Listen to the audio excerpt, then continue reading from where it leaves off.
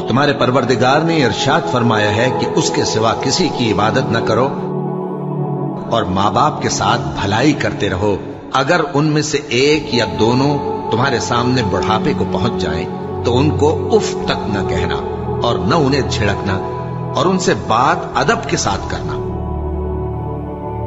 और रिश्तेदारों और मोहताजों और मुसाफिरों को उनका हक अदा करो और फजूल खर्ची से माल न उड़ाओ।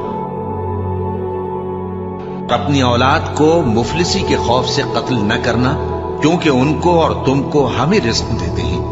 कुछ शक नहीं कि उनका मार डालना बड़ा सख्त गुना है। और जिना के पास भी न जाना कि वो बेहयाई है और बुरी राह है।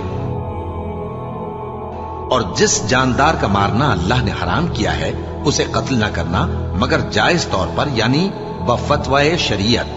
और जो शख्स जुल्म से कत्ल किया जाए हमने उसके वारिस को इख्तियार दिया है कि जालिम कातिल से बदला ले। तो उसको चाहिए कि कत्ल के किसास में ज्यादती ना करे कि वो मंसूर फतयाब है। और यतीम के माल के पास भी ना फटकना, मगर ऐसे तरीक से कि बहुत बेहतर हो, यहाँ तक कि वो जवानी को पहुँच जाए। और अहद को पूरा करो कि अहद के बारे में ज़रूर पुरसिश होगी।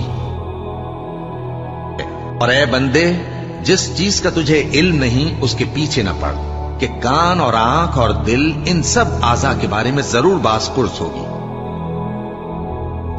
और ज़मीन पर अकड़ कर और तन कर मत चल कि तू ज़मीन को फाड़ तो नहीं डालेगा और न लंबा होकर पहाड़ों की चोटी तक पहुँच जाएगा।